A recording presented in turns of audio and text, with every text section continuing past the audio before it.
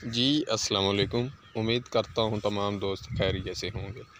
आज का केस है यूट्राइन प्रोलैप्स का। यूट्रस का प्रोलैप्स कर जाना।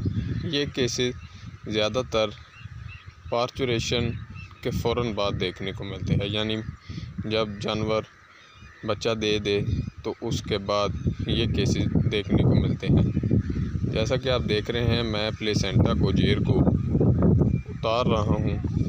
जो कि कोटिलेटन के साथ जुड़ी हुई है।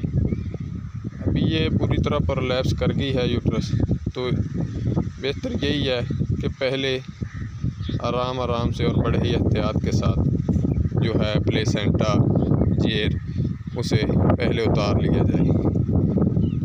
इसके साथ साथ आपने करना ये है, ठंडा पानी लेना है। ठंडे पानी के अंदर आपने K M N O four add कर देनी। आम हमारे फार्मर इसे पिंकी के नाम से भी जानते हैं के एम एन ओ फोर को। के एम एन ओ फोर का ठंडे पानी में सलूशन बना लेना है।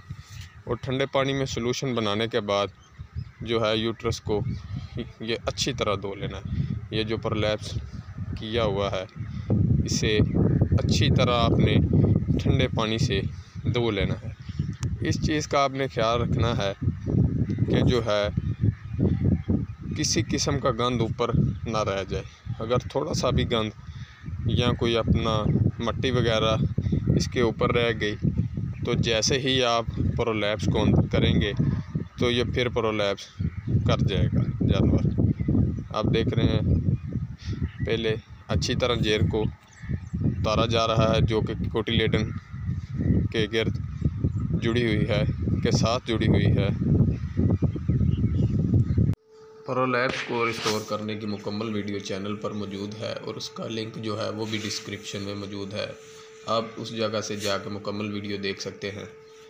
चूँकि हम पूरी वीडियो नहीं बना सके, जिस वजह से आप वो वो मैंने आपको बना कर दिखा दी है। अगर आपने मुकम्मल वीडियो देनी देखनी है तो आप मेरे इसी चैनल पर सर्च कर सकते हैं। वो मुकम्मल वीडियो है जो कि एक बफेलो ने प्रोलैप्स किया था। सेम प्रोसीजर यही अपनाया गया। अभी आप देख सकते हैं प्रोलैप्स को अच्छे तरीके के साथ अंदर धकेल दिया गया है। जब आपने प्रोलैप्स को अंदर करना है तो अपने बाजू को आगे अंदर डीप तक लेकर है जैसा कि अभी आप देख रहे हैं, ये मेरा पूरा बाजू।